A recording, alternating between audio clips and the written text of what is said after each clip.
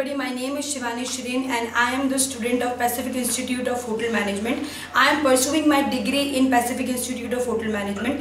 Today I am going to tell you about my experience in this college. I am a third year student who has almost completed with my graduation and yes guys I'm going to tell you about my communication skill which you can see it's completely changed. The discipline manner which has brought a very big change in my life and also the 100% placement jobs opportunity. Here you can see many of our students who are placed in abroad for their jobs. Some in Mauritius, some in Malaysia, some in Dubai and also in China. So guys, it's a right time to choose Pacific University. It belongs to a very, very, very amazing opportunity for all of you. The students who have already cleared their 12th standards can come and join our Pacific Institute of Hotel Management. It will definitely bring a very great change in your life. And this is me, Shivani Shreen, sharing my experience on the behalf of Pacific Institute of Hotel Management. Thank you.